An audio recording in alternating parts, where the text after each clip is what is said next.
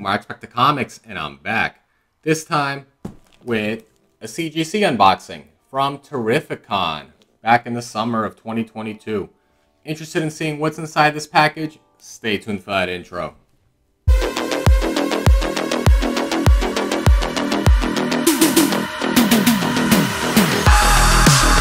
Alright guys, so welcome back. This is Dave from Marc Spector Comics. Don't forget to like, share, and subscribe. Hit that bell notification so when I do put out some content, you get in a timely fashion. One of my goals for 2023 is to make more content in the timely fashion. Um, so here we are.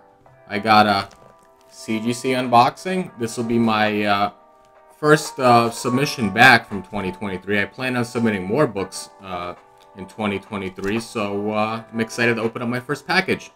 Um, this came from my submission at Terrificon back in, when was it, in July? I don't remember. Late July? Um, so a little backstory on that. Uh, really fun day. I went on a Saturday, which I don't usually go to conventions on Saturdays, but I wanted to meet up with a lot of the community and ended up meeting with a ton of the community members, had a blast, and a little around lunchtime, I had a about an hour to sneak away and submit some books. Um, CGC was there, but I didn't have time to go out and wait in line to meet the artists or the writers and uh, get the books and then fill out the paperwork and so forth. But Captured collect uh, Collectibles were there. So I've worked with them in the past. Great guys. Um, they do all the facilitation for me, and I just pay them. Um, I had, I think, eight books. It's an eight-book submission. Um, I do have my uh, sheet here from uh, Terrificon. And one, two, three, four, five, six books. Sorry, six books. Um, and they were all signed. So I did pay a hefty price, but um, these are cool books. And I believe one, two, three of them were dual signed. So uh, my one um, I was a little disappointed. Jim Starlin was supposed to be there, and he was going to be my last signature to complete my Infinity Gauntlet. Uh, number one, to make it triple signed. I have it already signed, and you'll see it in the unboxing. It's in here. Um, but he ended up canceling. So, um, he ended up canceling. I think he was sick last second. But I talked to the guys at Captured Collectibles, and they said that he's going to be at, uh, I think, Dragon Con, uh, some, some upcoming um, convention in, in October. And that's why I'm getting these books back in so late, you know, because they had to go to different conventions, submit them, and so forth. Um, so I'm hoping it's in here. Uh, I, I, you know, because uh, that was the uh, last book to finish off that grading. So uh, let's open up the package because that's what you guys are here for.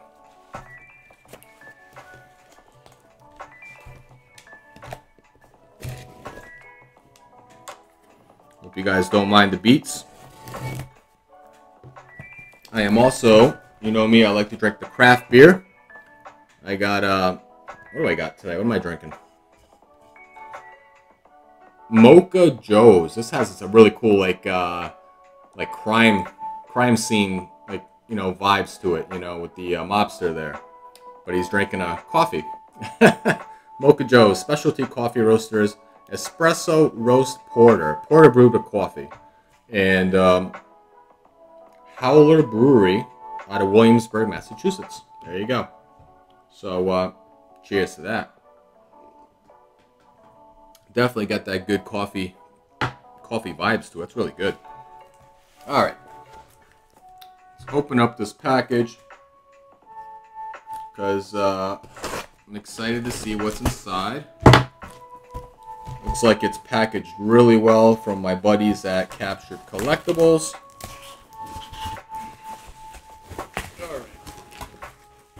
There we go. There you go.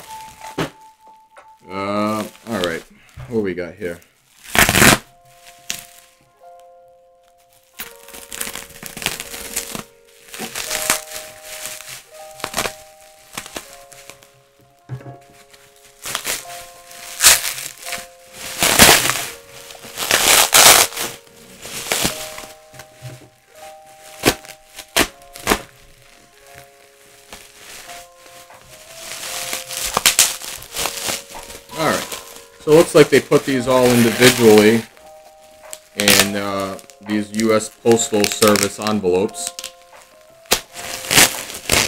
So uh, it'll make it a fun little mystery. But uh, looks like there is one, two, three.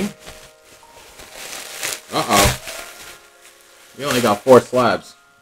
So, uh, I'm guessing either the, um, I'm guessing the two Jim Starlin books did not make it here, which is a bit a bit disappointing. But we'll see, we'll see.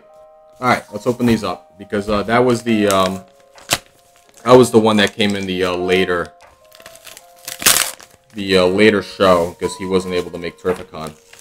So I'm hoping that's the case because that would make sense. All right.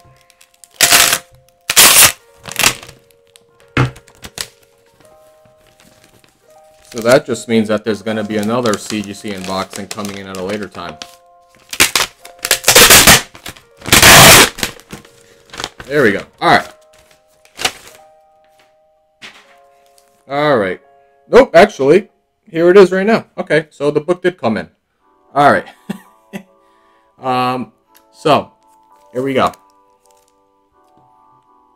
This was one of the books I was um, looking to get uh, signed by Jim Starlin. So uh, as you can see, it says signed by Jim Starlin, and they notated on their newsstand edition, which is something new that they implemented in uh, late 2022. So um, let's see what we got. Six five. All right. Um, trying to remember. This was, I think, when I bought it he had, I think, advertised it as a VF minus, which is a little lower than that, as you can see in the 6.5. Um, off-white to white pages, which is great. And uh, you got a nice little signature there. But this is a great book. If you're not familiar with this book, DC Comics presents issue number 26. First appearance of the Teen Titans. The, uh, uh, the new Teen Titans, sorry. And you also got the um, first appearance of Raven, Cyborg, and Starfire. Very cool. Um, a little lower grade than, than anticipated, to be honest, but hey, it is what it is. It's a risk you take. And um, these books were pressed, just so you know ahead of time. So, here we go. So I'm a little disappointed on that one because uh, the person I bought it from advertised it right around an 8.0. So, hey, it's all good. Alright, next book.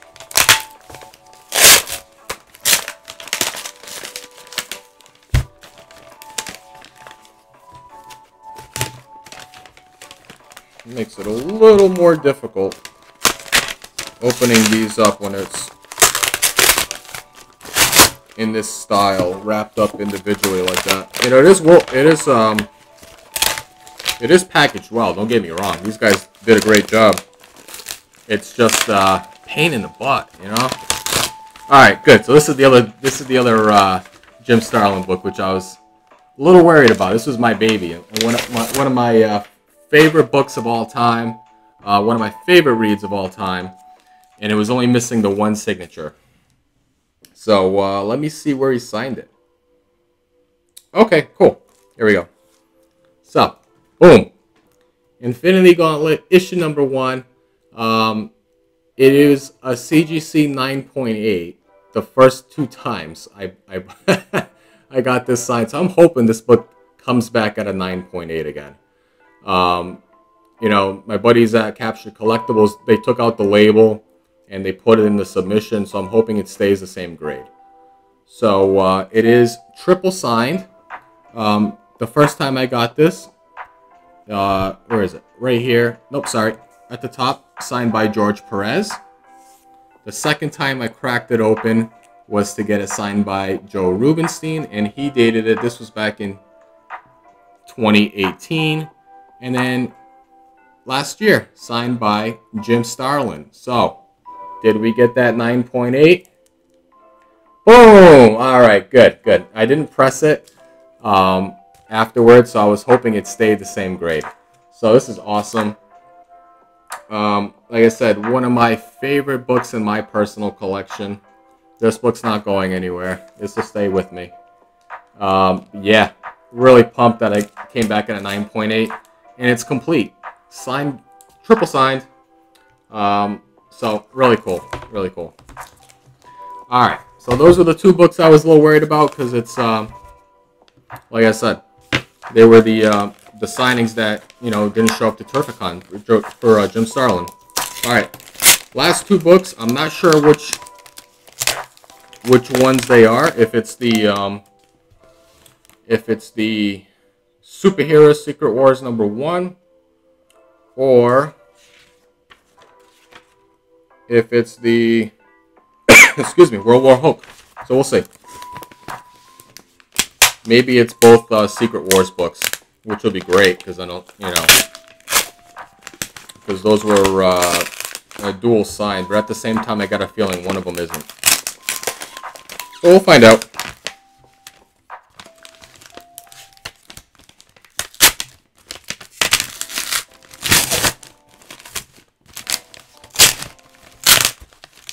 All right.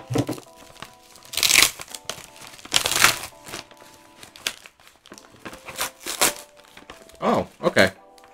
I forgot too. There's also the. Uh, I forgot about the whole 234. There's also the two, the Hulk 234. All right. So that's what this is. All right. So this is a cool spec book. Uh, I picked this up. When did I buy this? I bought this book raw a few years ago. I think I paid 20, 25 bucks for it. Um, this is Hulk issue number 234. This is first appearance of Quasar. Has a lot of spec on this book. Um, it is a newsstand. You know, and what's funny is newsstand, right? They don't notate it on this book. Um, right? Look at that. No notation on newsstand, and yet the um, and yet this book has it. So, uh, little, sorry, wow, the glare is awful.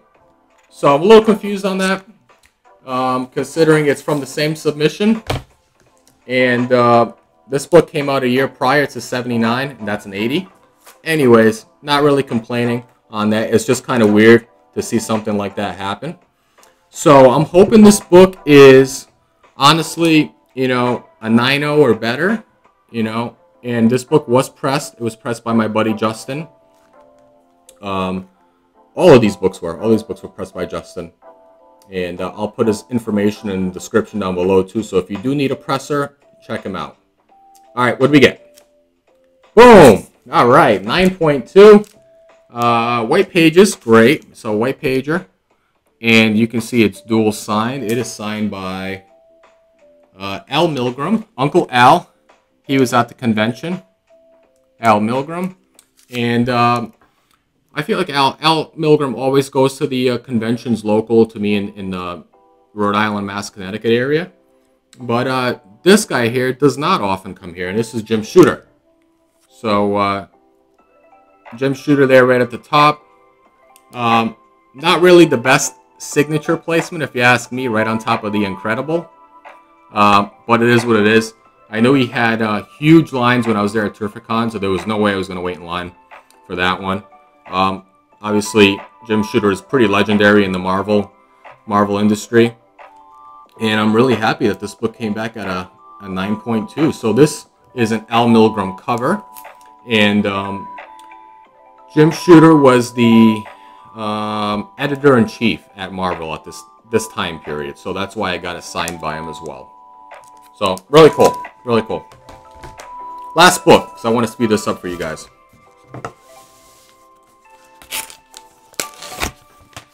Alright, so it's either going to be the Secret Wars book or it's going to be the World War Hulk book. So I'll let you guys decide, take a few guesses beforehand, and then we'll see what it is. Got to my guess it's gonna be the World War Hulk book because I'm still missing those last two books. So that's my guess. But hey, maybe it's maybe it's the Secret Wars book, and then the other book's still waiting to be sent to me. So we'll see. All right. What do we got? What do we got? What do we got?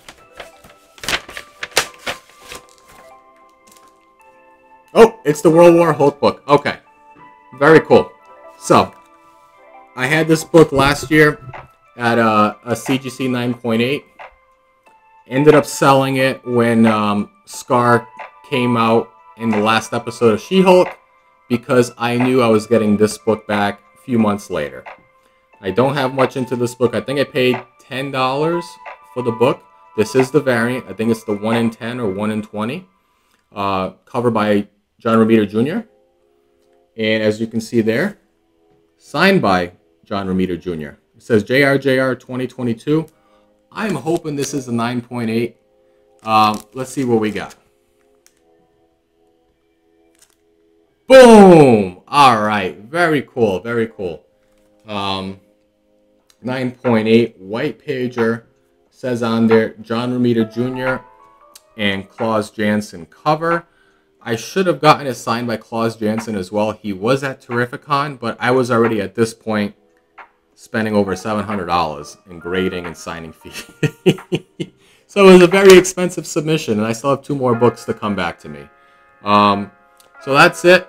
Uh, hopefully you guys enjoyed this video, my first uh, CGC unboxing, like from CGC of 2023. If you guys like that, please hit the thumbs up. It helps out with the channel's algorithm. Subscribe to the channel if you haven't already. Um, I want to get to the channel to a thousand subscribers by the end of the year. Hopefully we can get there sooner than later. And uh, comment down below, which books did you like? Have you met any of these artists or writers before? And uh, yeah, until next time, Marc Spector Comics. Out.